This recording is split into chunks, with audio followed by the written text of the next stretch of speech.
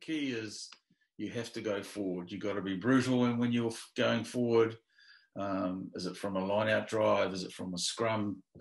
Is it from um, your phase play? Um, your individual ball carry, but you have to be dynamic and you have to, I believe, guys, you've got to drill them to go hard, run fast, um, and go forward.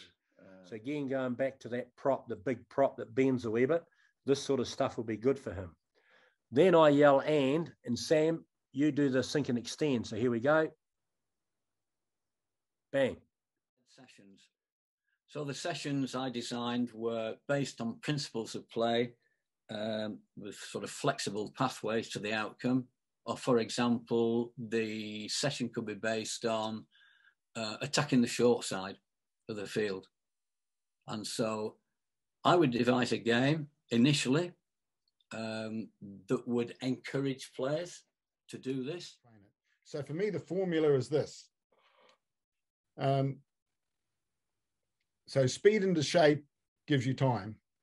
Time enables vision. Good vision leads to good decision. And good decisions create effective actions. I, so, I guess initially, Nick, you you you're beating them on the ground first, haven't you? You're beating them on the ground, exactly.